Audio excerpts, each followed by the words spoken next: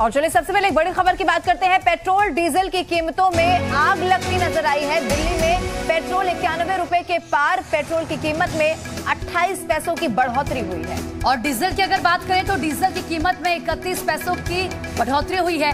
दिल्ली में पेट्रोल इक्यानवे रुपए सत्ताईस पैसे प्रति लीटर हो चुका है तो वहीं डीजल की कीमत इक्यासी रुपए तिहत्तर पैसे हो चुका है। तो देखिए किस तरीके से जो तेल के दाम है, लगातार बढ़ रहे हैं और इसका सीधा सीधा असर आम जनता की जेब में पड़ रहा है। बड़ी खबर आपको बता रहे हैं।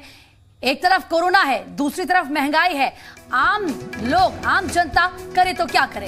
ये बड़ी खबर लगातार आपको बता रहे हैं कि किस तरीके से दिल्ली में पेट्रोल, डीजल के जो दाम है, उसमें लगातार इजाफा देखने को मिल रहा है। और ये वो वक्त है जब वैसे ही बहुत सारी परेशानियों से पूरा देश जूझ रहा है। लोग घरों में बंद है। बहुत सारे लोग ऐसे हैं जो इस वक्त काम नहीं कर पा रहे हैं। ऐसे में पेट्रोल, डीजल के दाम में इजाफा लोगों को परेशानी देता नज़र आ रहा है। और चलिए एक और बड़ी खबर, लेकिन दुखद ये खबर है, दरअसल रायबरेली से बीजेपी विधायक का निधन हो चुका है। सलोन विधानसभा से बीजेपी विधायक दल। बहादुर कोरे का कोरोना संक्रमित होने के बाद उनका निधन हो गया है।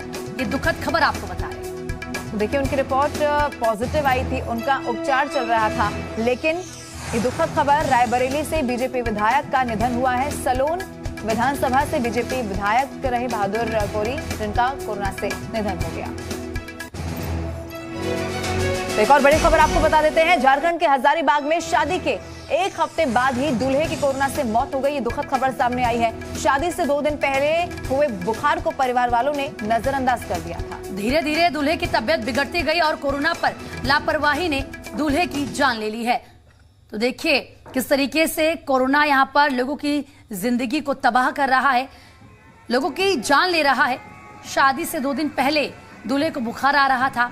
घर वालों ने ये समझा कि ये मामूली बुखार होगा, इसको सीरियसली नहीं लिया, लेकिन इसी बुखार ने दूल्हे की जान ले ली है। दो दिन पहले शादी से दो दिन पहले ही बुखार आ रहा था, लेकिन अगर इसे नजरअंदाज नहीं किया जाता तो शायद आज ये जान बच सकती थी।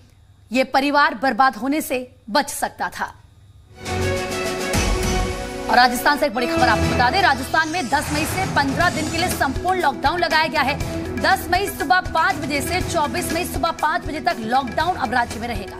मंत्रिपरिषद की बैठक के बाद गहलोत सरकार का ये बड़ा फैसला सामने आया, जिसके संकेत पहले से ही मिल चुके थे। 31 मई तक विवाह समारोह आयोजन पर रोक लगा दी गई है। विवाह समारोह में डीजे, बारात, निकासी, प्रतिभोज की अनुमति अब नहीं होगी और साथ ही शादी में बैंड बाजा, हलवाई, टेंट की भी अनुमति नहीं है। घर पर दूल्हा दुल्हन फेरे ले सकेंगे या फिर कोर्ट मैरिज कर सकेंगे। तो देखिए, तमाम पाबंदियाँ लगाई गई हैं, संपूर्ण लॉकडाउन लगाया गया है, क्योंकि लगातार लोगों की जान जा रही है और ऐसे में सरकार ये पूरी कोशिश कर रही है कि कैसे लोगों को बचाया जा सके और इसीलिए तमाम पाबंदियाँ राज्यों में लगाई जा रही हैं। तो देखिए लॉकडाउन ही एक ऐसा विकल्प नज़र आता है, जब सारे रास्ते बंद हो जाते हैं तो फिर कहीं ना कहीं सरकार को ये लगता है, क्योंकि एक्सपर्ट्स एक्सपर्ट्स लगातार ये बात कह रहे हैं कि लॉकडाउन ही है, अगर हमें कोरोना की चेन को तोड़ना है। तो देखिए, राजस्थान जहाँ पर लगातार जो संक्रमितों की संख्या थी, वो बहुत रफ्तार के साथ बढ़ती हुई नज़र आ रही थी। और इस बीच एक और बड़ी खबर भी आपको बता देते हैं। बढ़ते कोरोना संक्रमण के बीच दिल्ली सरकार का बड़ा फैसला सामने आया है। आंध्र तेलंगाना से आने वालों को 14 दिन का क्वारंटीन अब ज़रूरी होगा। ये दिल्ली सरकार का बड़ा फैसला आपको बता रहे हैं। देखिए, बड़ी खबर आपको बता रहे हैं। तीन दिन पुरानी कोरोना नेगेटिव रिपोर्ट और इसी के साथ अगर आप लेकर आते हैं तो सात दिन का क्वारंटीन आपको करना होगा। वैक्सीन के दोनों डोज अगर आप ले चुके हैं तो आपको सात दिन का फिर भी क्वारंटीन करना होगा। आंध्र तेलंगाना में नया वेरिएंट मिलने के बाद ये फैसला लिया गया है ताकि जो लोग हैं वो और संक्रमित ना हो। ऐसे में क्वारंटीन तो आपको करना होगा, लेकिन कितना क्वारंटीन आपको करना होगा, कितने दिनों का एक क्वारंटीन होगा, ये निर्भर करता है कि क्या आप वैक्सीन लगा चुके हैं, क्या आपकी रिपोर्ट पॉजिटिव है या नेगेटिव है, जो उसके आधार पर तय किया जाएगा। और चलिए एक और बड़ी खबर आपको बता दें, महाराष्ट्र में फिर से कोरोना विस्फोट हुआ है। बीते 24 घंटे में बासठ नए केस सामने आए हैं तो वहीं बीते 24 घंटे में कोरोना से आठ सौ तिरपन लोगों की मौत हो चुकी है। गुरुवार को तिरसठ लोग ऐसे भी हैं जो ठीक हुए हैं। तो राहत भरी खबर भी सामने आई है, लेकिन महाराष्ट्र लगातार चिंता की स्थिति में पूरे देश में सबसे ज़्यादा भयावह हालात जो है वो महाराष्ट्र में ही बने हुए हैं। एक और बड़ी खबर आपको बता देते हैं। मुंबई में घट रही है कोरोना की रफ्तार। एक थोड़ी राहत की खबर, महाराष्ट्र के मुंबई से बीते 24 घंटे में तीन हज़ार छप्पन नए मामले दर्ज हुए हैं। गुरुवार को उनहत्तर लोगों की कोरोना से मौत भी हुई है। मुंबई में रिकवरी रेट की अगर बात करें तो 90 फ़ीसदी ये फ़ीसदी ये पहुँच चुका है।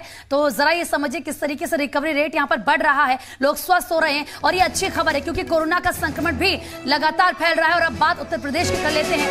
यूपी में भी कोरोना की रफ्तार लगातार बढ़ती जा रही है। कोरोना की रफ्तार थम नहीं रही है। बीते 24 घंटे में छब्बीस नए केस राज्य से सामने आए हैं। गुरुवार को यूपी में कोरोना से 350 लोग ऐसे हैं जो अपनी जान गंवा चुके हैं। अब तक यूपी में 14 लाख से ज़्यादा लोग संक्रमित हो चुके हैं। तमाम पाबंदियाँ, तमाम सख्ती और उसके बावजूद भी 14 लाख से ज़्यादा लोग अभी तक संक्रमित हो चुके हैं। तो चलिए एक और बड़ी खबर आपको बता देते हैं। आम लोगों से जुड़ी ये बड़ी खबर है। कोरोना के बढ़ते संक्रमण को देखते हुए रेलवे का बड़ा फैसला सामने आया है। रेलवे ने तेईस शहरों से चलने वाली 28 ट्रेनें 9 मई से रद्द कर दी हैं। तो देखिए, आठ जोड़ी शताब्दी है। दो जोड़ी जन शताब्दी है, दो दुरंतो है, दो राजधानी रद्द की गई है।